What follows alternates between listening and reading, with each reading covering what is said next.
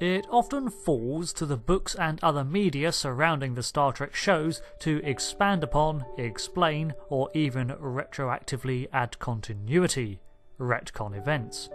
This has been status quo for some time now, and has led to a myriad of stories classified as beta content. This content adds a lot of stability, depth, and rationale to the universe and narrative of Star Trek, but exists in a sort of maybe, maybe not state, like Star Wars Legends material after the Disney Order 66.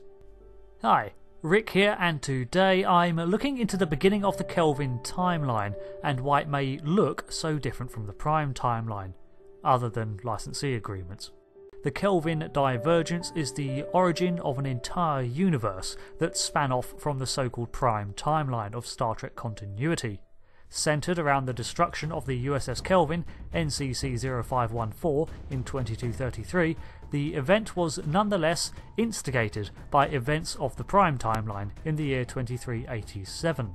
The event itself is explained in the 2009 film Star Trek, but leaves a lot to be desired. In short, a supernova in the Hobus system destroyed Romulus and Remus, the home of the Romulan Star Empire. A vengeful Eric Bana, called Nero, attempted to enact said venginess on Spock, who had failed to save his home. In the ensuing firefight, Spock and Nero's ships fall back in time to 2233. Well, Spock actually arrives a little later, but irrelevant. Nero comes across a Federation ship, the USS Kelvin, and destroys it, setting events down a radically different path and creating an alternate timeline.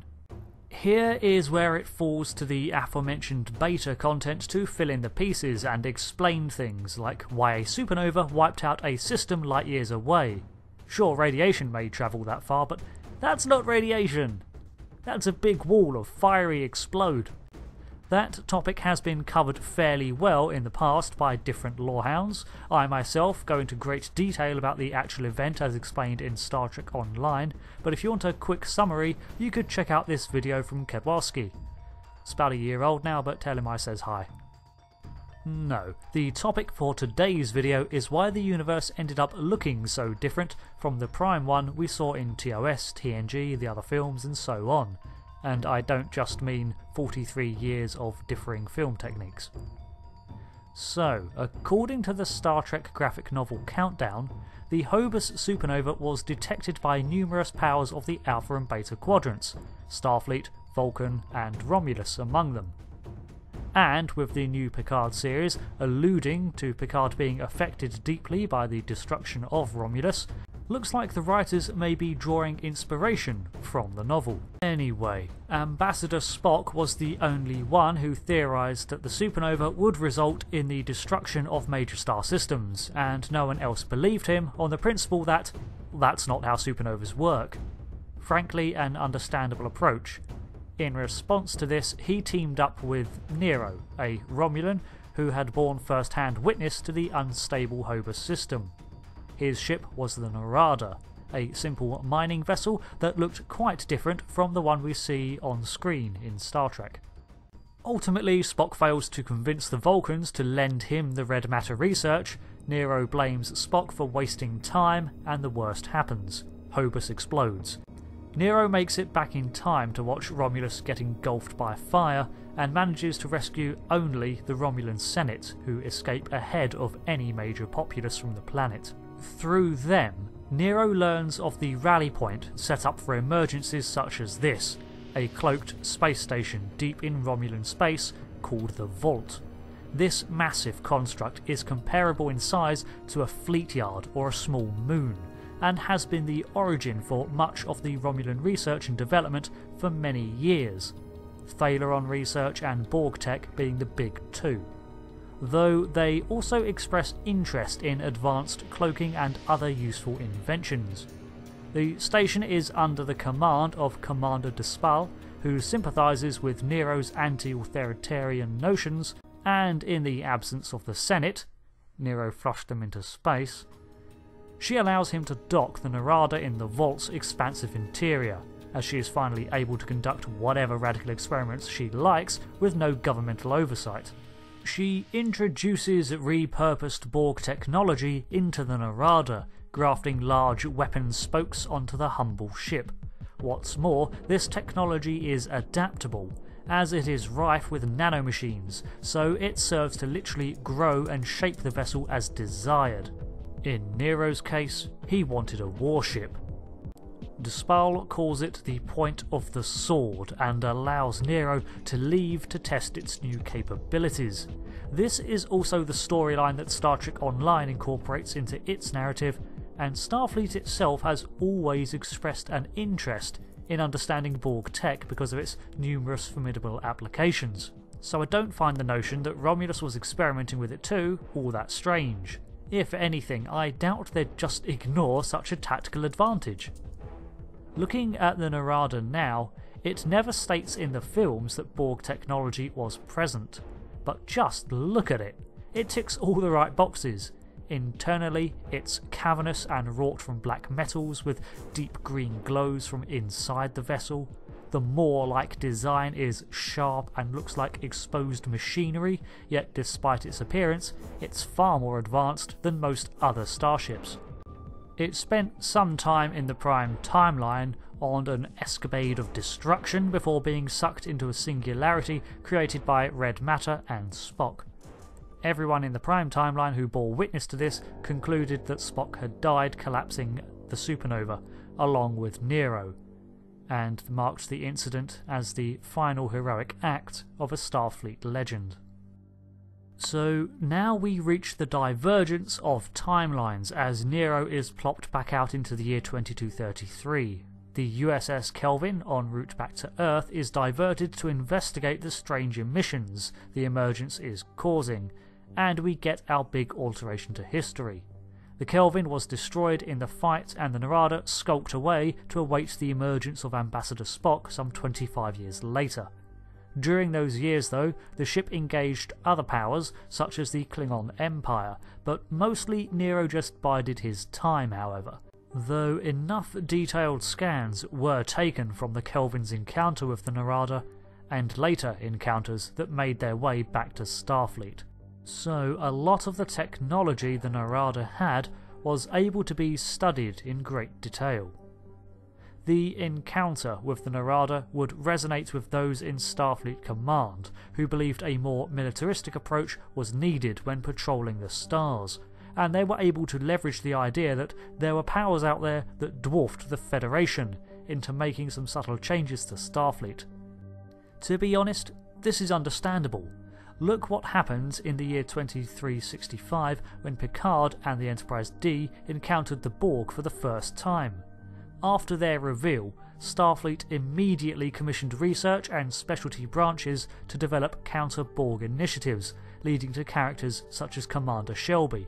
And two years later, after Wolf 359, Starfleet literally began churning out warships like the Defiant class, the Sabre class, and re evaluating its policies about maintaining a civilian presence on starships.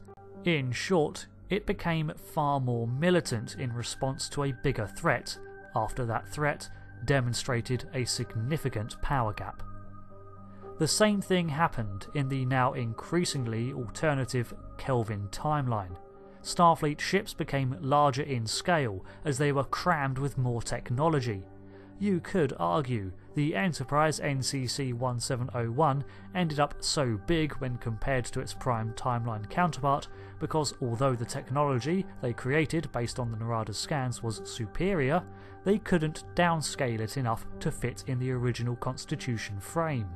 Just look at real life. The miniaturization of technology takes time. In fact, the Enterprise of the Prime Universe was launched in 2245, but the incursion caused by Nero sent the team that were designing the Constitution class back to the drawing board and chose to develop a larger alternative concept to be the Federation's new pride and joy. They basically took one look at the data recovered from the Kelvin, looked at their blueprints for the Connie, paused, and went, We're gonna need a bigger boat. These extensive redesigns included much of what had been learned from the Narada's alien technology, and meant that the Constitution line ended up being delayed for 13 years. being launched in 2258 instead, replete with a crew who had now lived radically different lives based off of a different Starfleet, a different Federation. We see new designs for warp cores, uniforms, almost everything began to take on a different tone from the Prime universe that it could have been. And the repercussions only escalated with time.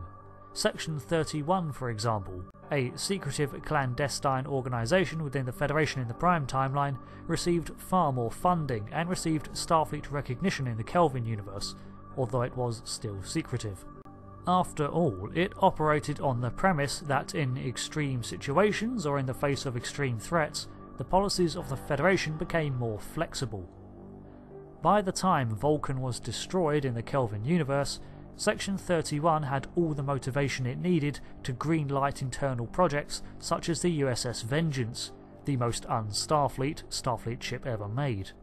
All this began with the introduction of technology from the future into a time it didn't belong, in the form of the Romulan Borgified mining ship, the Narada. So that's the impact that one event could have. As for the difference in designs pre Narada, well, there's numerous theories. I just chalk it up to creative choice. At least the uniforms and the like made allusions to the original material. But there are theories that say that when time was altered, it was less like a split and more like a bending of the timeline, so events before and after the incursion were changed.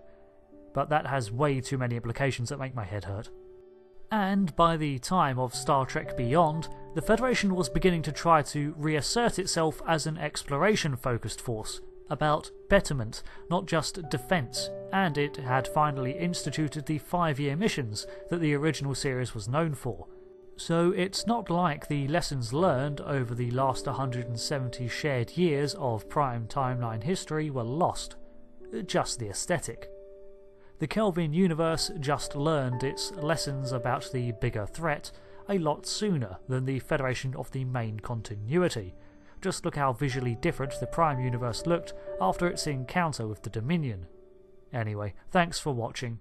This is a video I wanted to make for a while now, but I was spurred on by the recent news from the Picard series, about which I speculate here, shameless plug, my progress through Star Trek Online, also plug, and the fact that I finally obtained a copy of Countdown for myself to read. But that's all for now. Like I said in the intro, a lot of this is beta content, but it's usually the job of beta content to tidy up after the main event, and only an idiot doesn't give the cleaning staff their due, so I'd like to think it's relevant. Thanks for watching. I've been Rick, and until next time, goodbye.